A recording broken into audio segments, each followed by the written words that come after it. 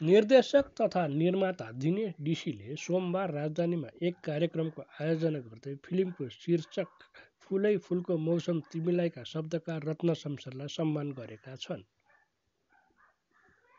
उक्त सम्मान कार्यक्रममा फिल्मकी नायिका निता ढुङ्गानाले फुलै फुलको मौसम तिमीलाई राम्रो फिल्म बनेको बताइन्।